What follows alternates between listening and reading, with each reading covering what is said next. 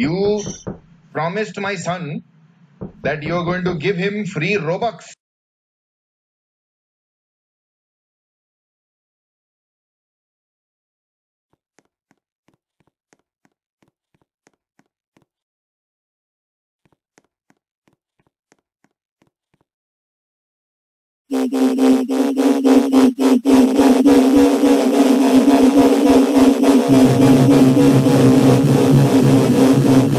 Thank